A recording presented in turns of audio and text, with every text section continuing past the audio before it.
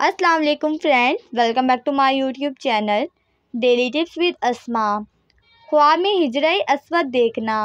अगर कोई शख्स ख्वाब में देखता है कि इसने हिजरत असवा पर हाथ मला है तो इसका मतलब है अहले इजाज़ से इसको नफ़ा हासिल होगा। लेकिन अगर कोई शख्स ख्वाब में देखता है कि इसने हिजरत असवद को उखाड़ा है तो इसका मतलब है बद मज़हब और बद एहतिकात और नापाक होगा।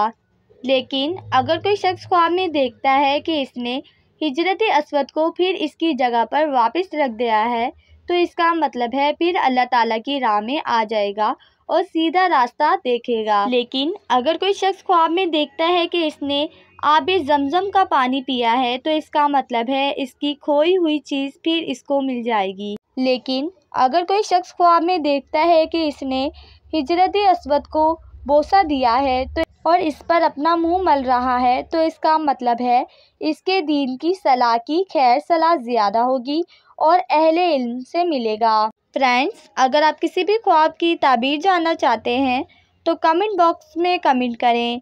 Thanks for watching. अल्लाह हाफिज़।